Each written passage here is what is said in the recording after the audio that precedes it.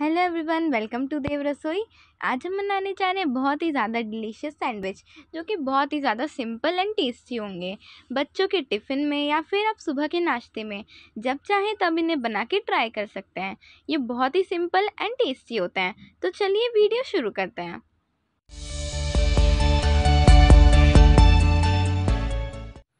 तो इसके लिए मैंने यहाँ पे ले लिया है मैश्ड पोटैटोज़ प्याज और टमाटर।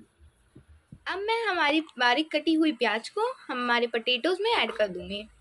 अब मैं इसमें ऐड कर रही हूँ टमाटर। अब मैं धनिया इसमें ऐड कर रही हूँ। अब मैं इसमें ऐड करूँगी बारीक कटी हुई हरी मिर्च। अब मैं इसमें ऐड करूँगी वन टेबल स्पून मसाला। स्वाद अनुसार नमक।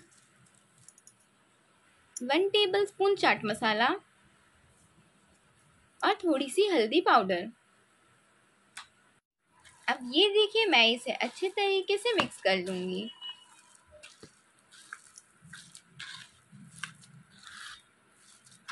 अब ये देखिए, कितनी बढ़िया तरीके से मिक्स हो चुका है और हमारा इतना परफेक्ट मिक्सचर बनके तैयार है। अब देखिए, मैंने यहाँ ले ली हैं कुछ ब्रेड्स।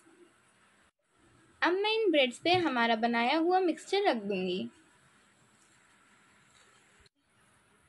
यहाँ मैं इस पर अच्छे तरीके से हमारा मिक्सचर फैला रही हूँ। अब इसी तरीके से मैं दूसरी वाली ब्रेड पे भी इस हमारा मिक्सचर फैला लूँगी। अब मैं इस पे रख रही हूँ एक चीज़ का स्लाइस अब मैं हमारी दूसरी वाली ब्रेड को इसके ऊपर रख के ऐसे कवर कर दूँगी। अब यहाँ पे मैंने दूसरी ब्रेड ले ली है। उस पर मैं रख रही हूँ हमारा मिक्सचर मैं मिक्सचर को अच्छे तरीके से फैला लूँगी। अब हम हमारी ब्रेड पे रखेंगे एक चीज़ का स्लाइस अब हम इसको भी कवर कर देंगे। अब चलिए हम अपने सैंडविच को सेक लेते हैं।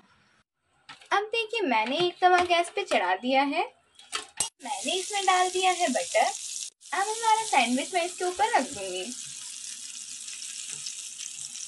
अब मैं इसे नीचे की साइड से दो मिनट तक पकने दूँगी ताकि हमारा सैंडविच बढ़िया तरीके से पक जाए। अब चलिए नीचे के साइड से पक चुका है तो हम इसे पलट लेते हैं। अब देखिए, मैं इसे यहाँ पे पलट रही हूँ।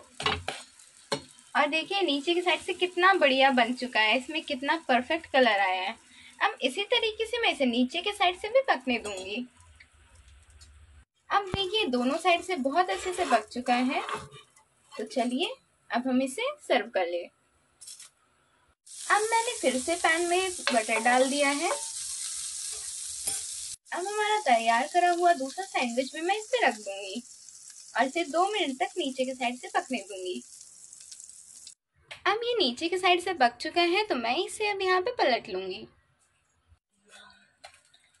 अब ये देखिए, मैंने इसे यहाँ पलट लिया, और आप देख सकते हैं इस इसमें कितना प्यारा गोल्डन ब्राउन कलर आ चुका है।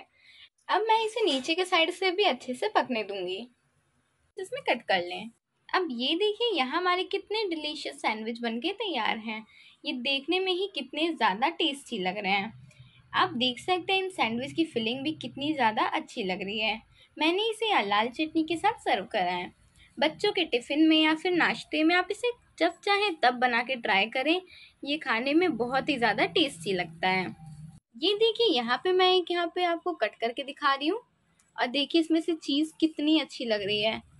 और हमारे चीज़ वाले सैंडविच एकदम परफेक्टली बन के तैयार हैं।